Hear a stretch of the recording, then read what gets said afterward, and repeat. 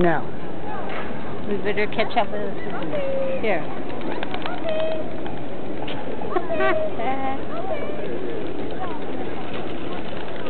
There's some policemen. And it's the Museum of St. Marcos.